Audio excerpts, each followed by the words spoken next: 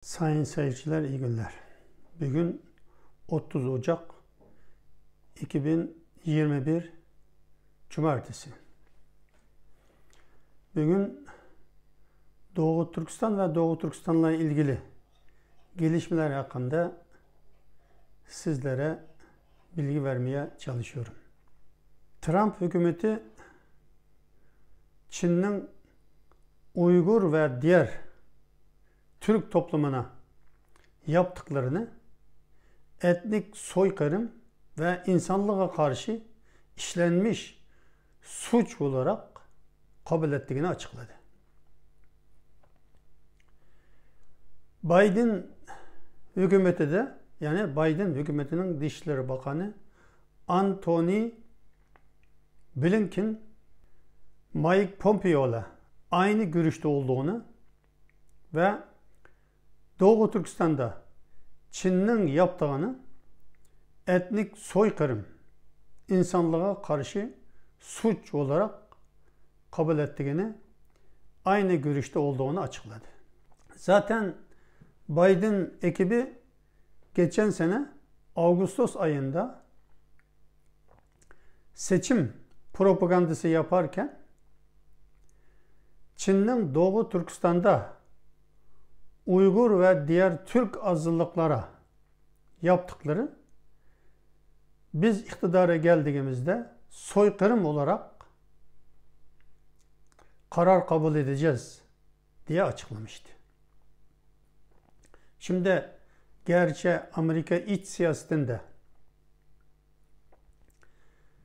e, Trump hükümetiyle Biden hükümeti arasında ateşle su gibi birbirine tamamen aykırı görüşler olmasına rağmen Çin konusunda bilhassa Çin'in Doğu Türkistan'da Uygur, Kazak, Kırgız, Özbek, Tatar ve diğer Türk ve Müslüman azınlık etnik gruplarına karşı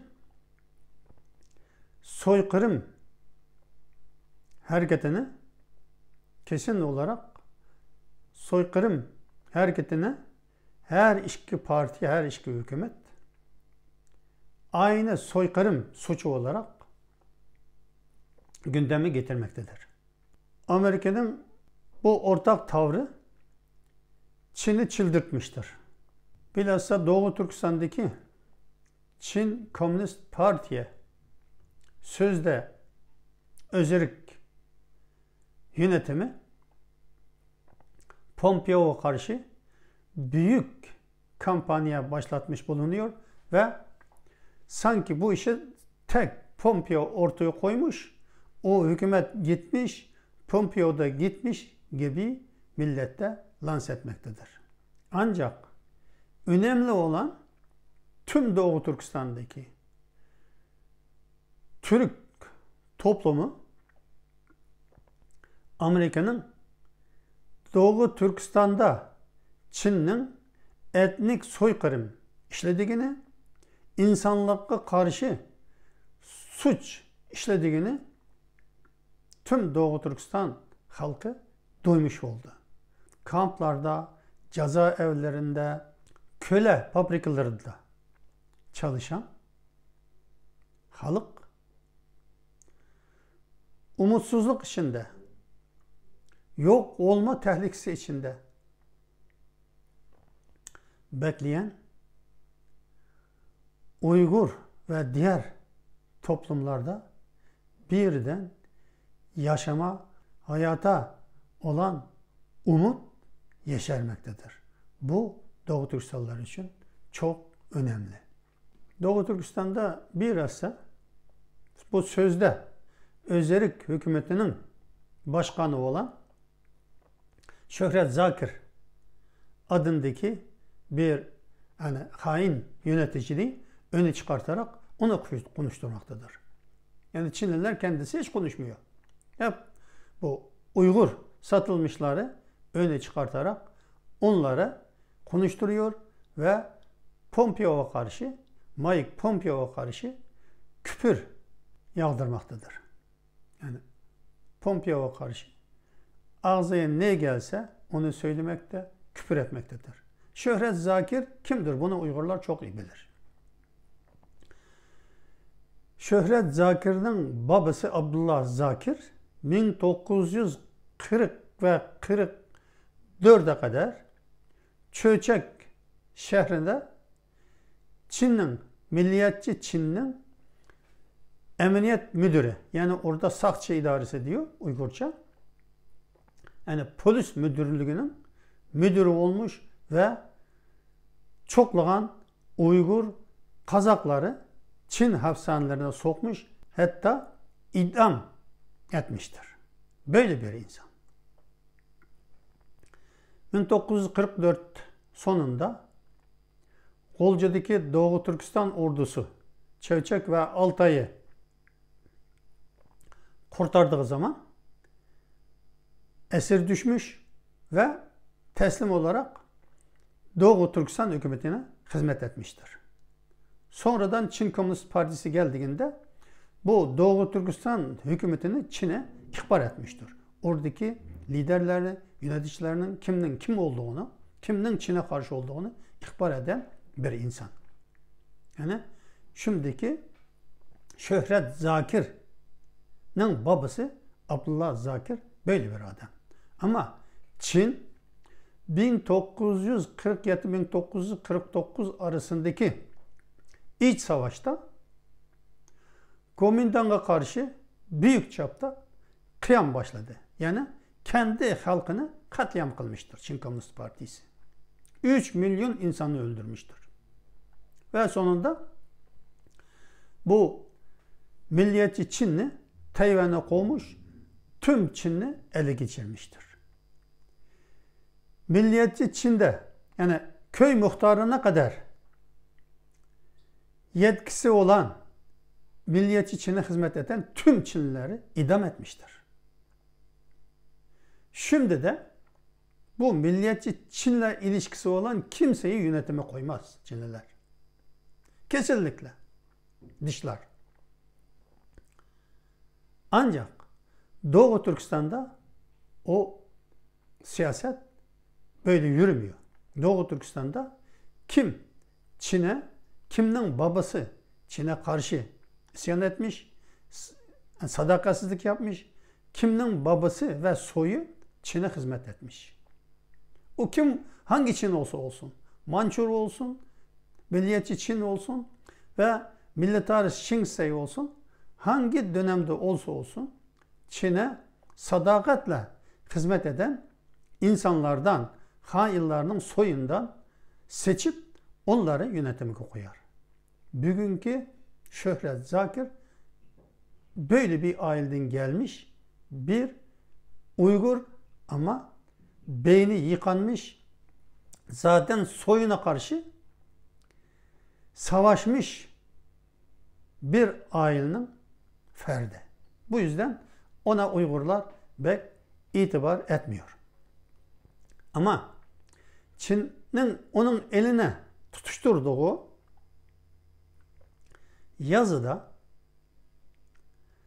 bazı gerçekler ortaya çıkıyor. Doğu Türkistan'daki Çin hükümetinin açıklamasında şöyle bir rakam var.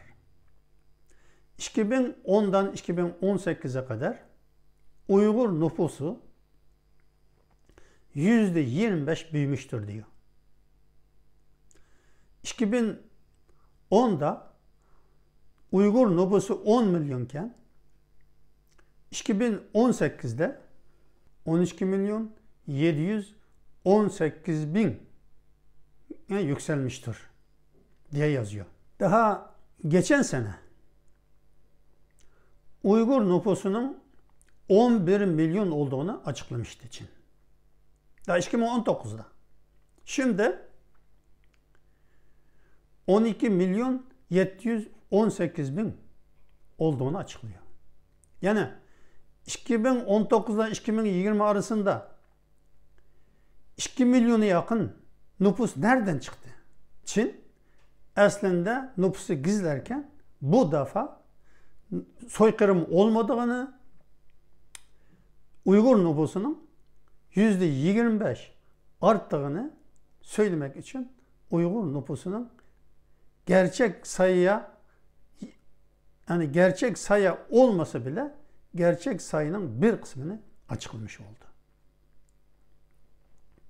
Biz Doğu Türkistanlı ilim insanlarının yani Doğu Türkistan aydınlarının ve uluslararası nüfus uzmanlarının sayısal olarak hesapladığına göre Uygur nüfusu şu andaki Doğu Türkistan'daki Uygur nüfusu 18 milyonla 20 milyon arasında.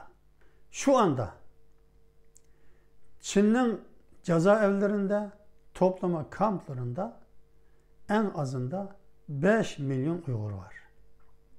Çinliler bunları bir kısmını öldürdü, toplu katliama tabi tuttu. Bir kısmını da yok edecek. Bu yüzden bu nüfusunu daha açıklamıyor. Şimdi kendi verileriyle çelişerek geçen sene daha 2019'da Uygur nüfusunu 11 milyon olarak açıklarken şimdi Amerika'ya karşı biz soykırım işlemedik. Uygur nüfusu yüzde 25 artmıştır. Hatta Çinlilerden daha fazla nüfus artışı olmuştu Uygurlarda diye. Uygur nüfusunu 12 milyon 718 bin olarak resmi açıklamış bulunuyor. Yani böylece bir kısım gerçeği Çinliler yani açık olmuş oldu. Çin Komünist Partisi dünyadaki en büyük yalan makinesidir. Yalan bulanmadığında gerçekliğini de söylemeye mecbur kalıyor. Çin ne kadar gizlesin 4 seneden beri hatta şu Türkiye'de yaşamakta olan 40-50 bin Uygur'un ailesi, annesi, babası, kardeşi, çocukları yani Doğu Türkistan'a kalan hepsi cezaevinde ya da toplama kampında. 4 seneden beri kimse memleketteki ailesiyle görüşemiyor. İnternet yasak, WhatsApp yasak, Facebook yasak, YouTube yasak, sosyal medya yasak. Birbiriyle iletişim kuramıyor. Yalnız Türkiye'deki değil. Amerika'da, Kanada'da, Avustralya'da, İngiltere'de, Fransa'da, Hollanda'da, Norveç'te, İsviçre'de. Tüm dünyadaki Doğu Türkistanlılar ailesiyle iletişim kuramıyor. Bunu o ülkelerdeki hükümetler biliyor, halk biliyor. Çin ne kadar bizde soykırım olmadı, biz gizlemedik dese bile yani Doğu Türkistan'a gitmeye müracaat etken bir gazeteci Doğu Türkistan'a girebildi mi? Vize alabildi mi? Alamıyor. Onlar kendi satın aldığı hani yabancı ülkelerde kendi satın aldığı gazetecilere Doğu Türkistan'a sokuyor ve nereye götüreceğini de kendi belirliyor. Ama bağımsız gazetecilerini kesinlikle sokmadı. Çin'e girip Doğu Türkistan'a gitmek isteyen gazetecilerini bile yakalayıp cezaevine soktu. Eğer suçun olmasın niye korkuyorsun? Neden korkuyorsun? Şimdi Doğu Türkistan'daki Çin Komünist Partiye yönetiminin yani Uygurçası Tanrıdağ diye 2016'dan önce Tanrıdağ internet sitesi diyorduk. Sonra Çinçi'ye Tianshan diye değiştirdi. Şu anda ben bile giremiyorum bu yani haber ajansının sitesine. Engellemiş. Tıklıyorum. Siz engellendiniz diyor. Giremiyorsunuz diyor. Yani mesela Türkiye'de Anadolu Haber Ajansı herhangi bir yabancıya böyle dostu olsun düşmanı olsun onu engeller mi yani? Herkesin görmesine açık. Tüm dünyadaki haber siteleri herkesin görmesine açık. Ama Çin korktuğu için buradan bilgi toplayıp bize karşı kullanmasın diye beni bile şu anda engellemiş durumda. Ama ben o siteye giremiyor muyum? Başka yollardan. Veya bu bilgilerini başka kanallardan alma imkanım yok mu? Çin böyle bir Çin. Yani bütün dünyaya açık olan haber bile Çin'e karşı olan insanların ziyaret etmesini engelliyor. Çünkü içinde bir korku var. Çin soykırım yapıyor. insanlığa karşı suç işliyor. Uygur toplumu 4 seneden beri dünyaya haykırıyor. Ve Amerika ve Batı ülkeleri uydu kanalıyla Doğu Türkistan'daki bu toplama kamplarını büyük hatta 10 bin kişilik 50 bin kişilik insan sığabilecek büyük kamplardan 1300'den fazla kampın yerine tespit edip dünyaya yayınladı.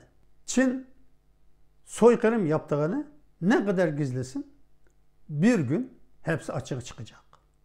Tarihte soykırım yapanlarının, diktatörlerinin, faşistlerinin yaptıkları kendini kar mı? Açığa çıkmadı mı? Türk toplumu çok iyi biliyor. Hitler'in 6 milyon Yahudunu nasıl soykırıma tabi tuttuğunu. Sonradan Hitler ve 6 milyon Yahudinin soykırımı yapılmasına destekleyen, Hitler'e alkış tutan Almanlar kendi ne kadar acı çekti. Bunun bedelini Alman milleti ödemedi mi? Bunu Türk aydınları çok iyi biliyor. Yani bu hafta benim fazla konuşmama gerek yok. Japonlar Japonya İkinci Dünya Savaşı'nda Asya ve Pasifik'te 36 ülke ve bölgeyi işgal etmişti. Ta Avustralya sahillere kadar işgal etmişti. Tüm Asya'dan beyaz ırkını sürüp çıkarmıştı. Yani tüm Asya ülkelerini işgal etti. Ta Myanmar'a kadar. Yani İngilizlerin elinden aldı. Filipinler Amerika'nın elinden aldı. Vietnam'ı Fransızların elinden aldı. Hong Kong'da İngilizlerin elinden aldı. Malaysia, Endonezya'ya kadar hepsini yabancılarını sürüp çıkarttı. Çin bugün Nankin yani Çinçe Nanjing diyor. Nanjing katliamı diye Nankin'de Japonlar 300 bin ahalini soykırıma tabi tuttu ve kurşunu dizip bir kısmını, bir kısmını diri diri gömdüler diye her sene o kabristanlıkta onun hatır gününü yapıyor Çinliler. Ama gerçi yapınlar orada soykırım olmadı. Biz soykırım yapmadık diye kabullenmesi bile Çinliler bu soykırımla yani bu Nanjing soykırımla Japonlara olan kin ve nefretini bugüne kadar körüklüyor Çin toplumu içinde. Böyle bir millet. Japonlarının soykırımına uğradık. Dediği bir millet bugün kendi vatandaşımız diye Uygur toplumuna, Kazak toplumuna, Özbek toplumuna, Kırgız toplumuna, Tatar toplumuna, Doğu Türkistan'daki Türk toplumuna karşı soykırım uyguluyor. İkinci Dünya Oruşu'da savaş zamanı Yani Japonlar başka bir millet, başka bir devlet gelip Çin'i işgal ediyor ve Çin'de soykırım yapıyor. Ama Çin kendi vatandaşım dedi ki savaş hiçbir savaş ortamı olmayan barış süresi içinde Uygurlara karşı soykırım işliyor. Birçok Uygur kızı annesini, babasını, abisini, kardeşini cezaevinden, topluma kampından çıkarmak şartıyla sevmediği, nefret ettiği Çinlilerle evlenmeye mecbur kaldı. Bunun bedelini bugün Doğu Türkistan'da Çin ordusu, Çin polisi, Çin Komünist Partisi silah gücüyle yaptığı soykırıma alkış tutan Çinliler.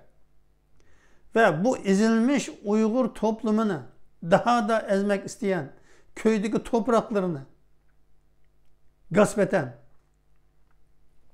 ahırdaki hayvanlarını gasp eden, bankadaki parasını gasp eden,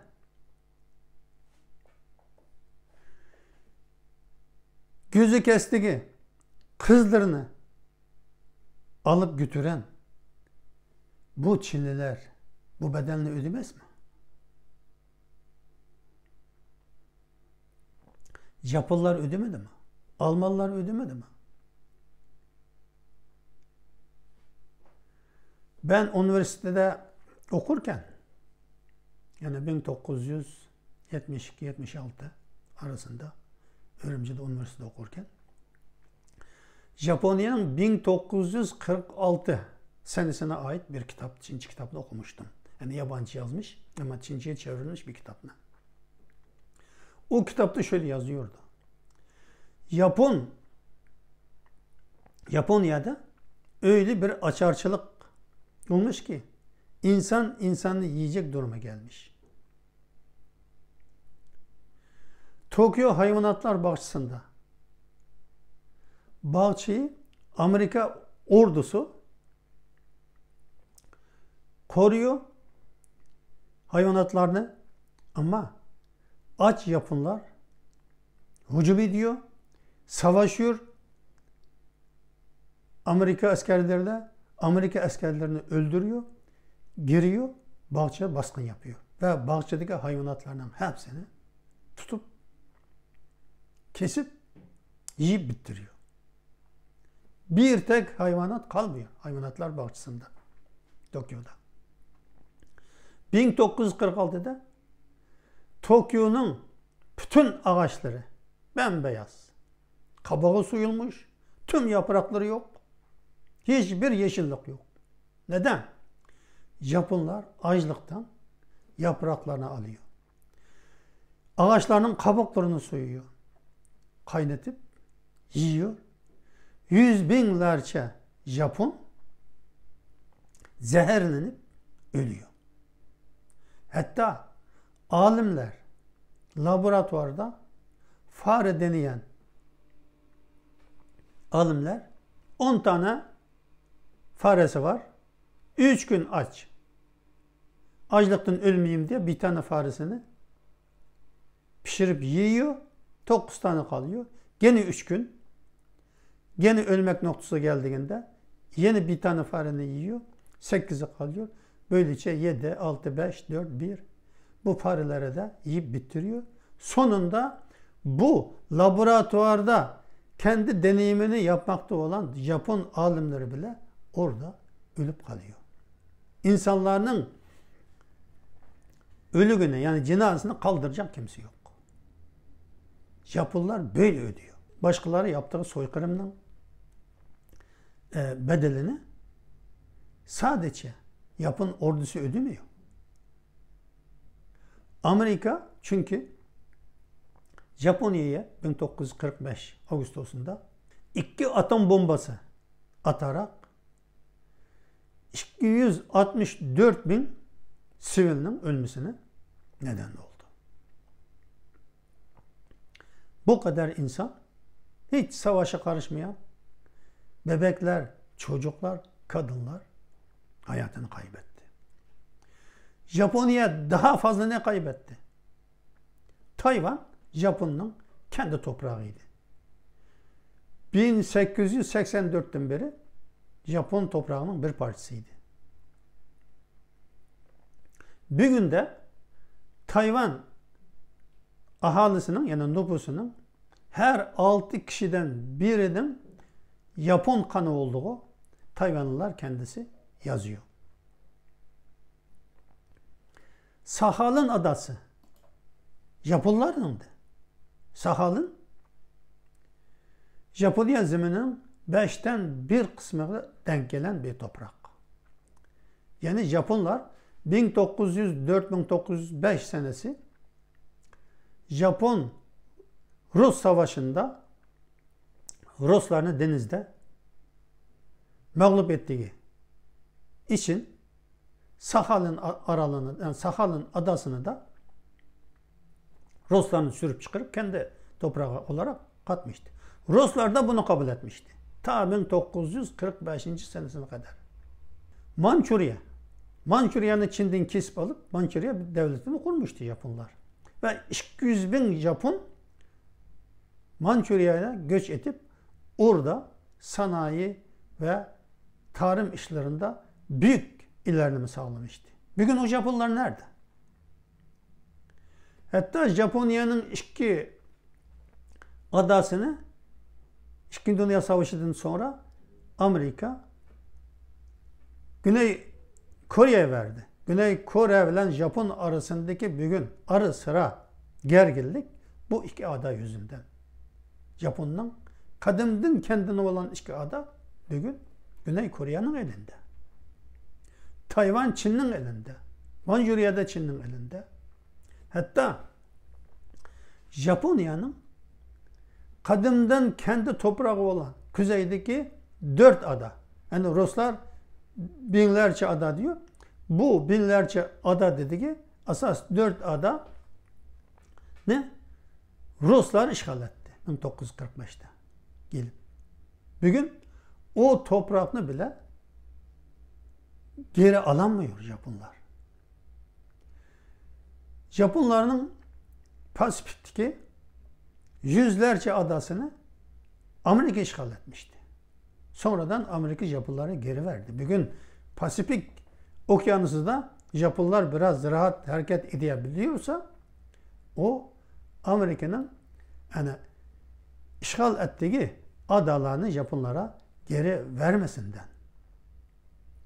Yani şu andaki Japonya kanat kuyruğu kırkılmış hatta boğulmuş bir kuş gibi küçülmüş durumda. Şimdi Saddam Kürtlere ne yaptı? Helepçi katliamı nasıl bir katliamdı? Bir köyde 5 bin insanı katletti. Irak'taki Sünni Araplar yüzde Irak nüfusunun yüzde yirmisini teşkil ediyor. Güneydeki Şii Araplar yüzde 60-65'ini teşkil ediyor. Bir de kuzeydeki Kürtler var. Hem Şii Araplara hem Kürtlere karşı Saddam ve Saddam'ı destekleyen Şii Arap güçleri büyük baskılarını yapmakla kalmadı. Katliam yürüttü. Sonra da ne oldu? Kuzeydeki Kürtler şu anda özgür. Kendi bankası var, kendi parası var, kendi ordusu var. Gerçi Irak'ın içinde gözüküyor ama özgür bir toplum olarak yaşıyor. Saddam ne oldu? Saddam'ı idam eden yargıç yani bu mahkeme karar veren yargıç Rauf Reşit Kürttür. Saddam Kürt'ün kolunda, Kürt'ün elinde idam edildi ve dara asılarak öldürüldü. Onunla kalmadı. Saddam'ın çocukları ne oldu? Saddam'ın siyasetini destekleyen, alkış tutan Sünni Araplar ne gün gördü? Ne bedellerini ödedi? Bir milyondan fazla insan Irak'ta hayatını kaybetti. Çoğu Sünni Araplar. Hatta 3,5 milyon Arap kadın kızları tecavüz uğradı. Bu resmi rakamlar. Onlarda ne suç vardı? Ama Saddam ve Saddam'ı destekleyenlerden intikam alacağız diyen etnik gruplar ve Amerika ordusu tarafından büyük bedellerini ödedi. Zamanında Saddam'ı engelleseydi bu kadar facia olur muydu Irak'ta? Suriye'deki Esad şimdi ne oldu? Suriye'de Aleviler yüzde on bir. Kürtler yüzde on. Suriye'deki Sünni Araplar yüzde altmıştan fazla. Hatta Suriye'de Hristiyanlar 16, yüzde 16. Esad'ın o soyu ve desteklediği Dada yani Hafız Esad, Beşer Esad'ını destekleyen Aleviler Kürtleri insan yerinde koymadı. Vatandaşlık yoktu, nüfusu yoktu. Nüfus kağıdı yoktu. Pasportu hiç yoktu. E bugün Kürtler Beşer Esad'ın kalbine saplanmış bir hancar oldu. Hancar gibi Kürtler bu bir hancar gibi Şam hükümetinin kalbine saplanmış durumda. Eğer Ruslar olmasaydı Esad çoktan dara asılmış olacaktı. Esad'ın yönetimi de kalmayacaktı. 6 milyon Suriyeli mülteci. Onun 4 milyonu Türkiye'de. Suriyeli çocuklar, kadınlar çektiği eziyetler. Bu Esad eğer şu Kürtlerine bile insan yerinde koysaydı, vatandaşlık verseydi, pasaport verseydi, bugün Esad'ın kalbiye saplanmış bir hancer olarak Amerika bu hanceri Esad'ın kalbiye saplar mıydı? Irak'taki Kürtlere bir hancer gibi, bir hançer gibi Saddam'ın ve Saddam hükümetinin kalbiye saplar mıydı Amerika? Yugoslavya ne oldu? Bir Yugoslavya 8 ülke oldu şu anda. Yugoslavya diyen bir ülke yok. Sırbistan kaldı. Sırplar başkalara bilhassa Bosna Hersek'e, Kosova'ya, oradaki Müslümanlara eziyet yapmasaydı, soykırım yapmasaydı, barış içinde çözülseydi sorunlar, bunun acısını Sırplar da çekecek miydi? He. Milosevic ne oldu?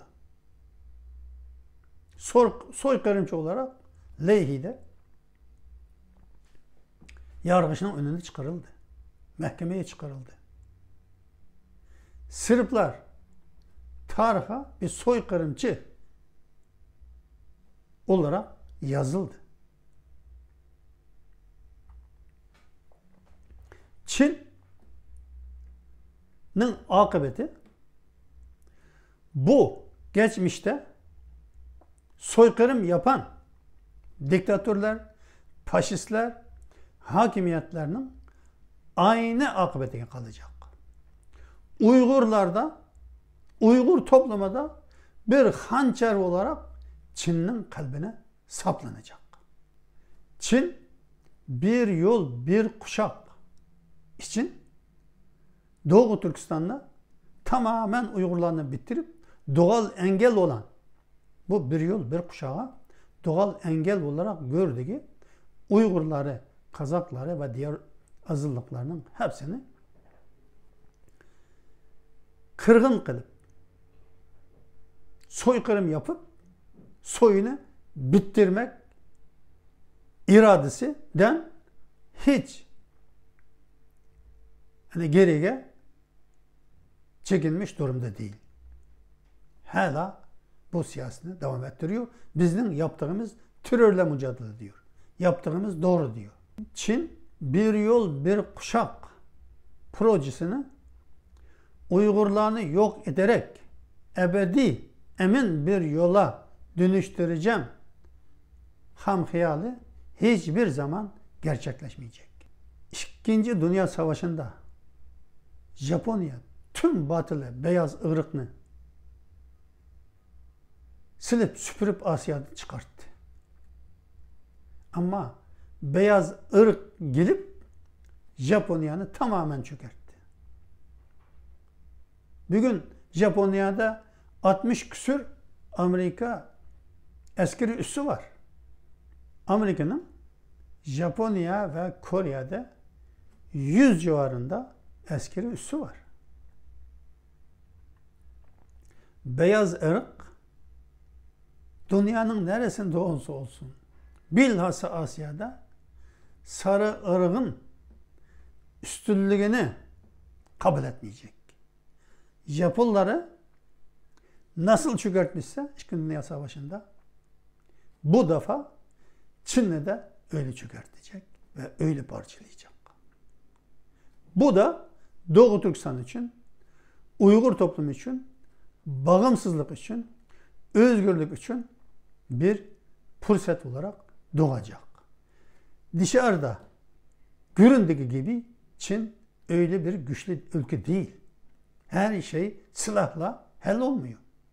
Doğu Türkistan'da gün gelecek bu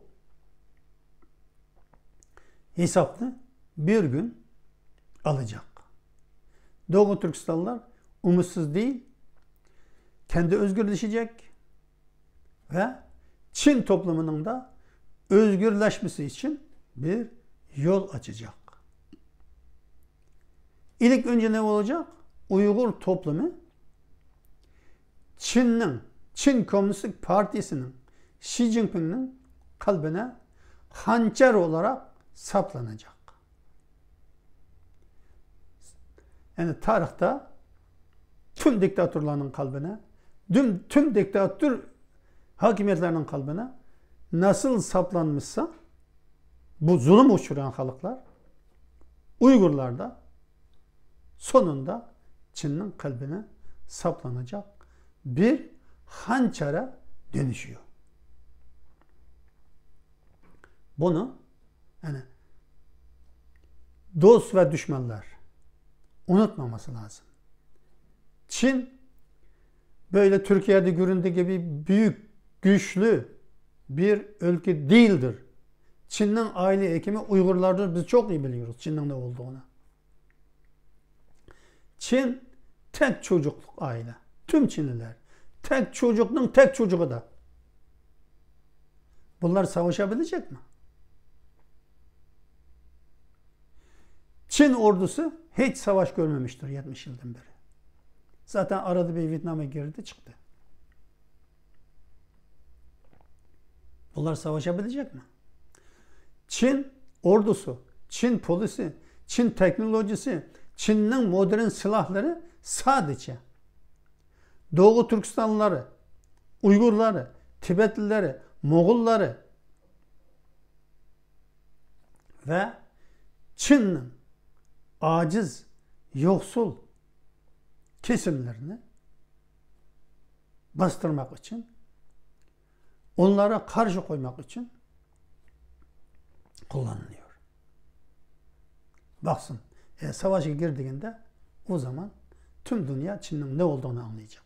Uygur toplumunun özgürleşmesini, Doğu Türkistan'ın bağımsızlığını Çin veya başka güç dünyada hiçbir güç engelleyemeyecek. Bu böyle bilinmeli.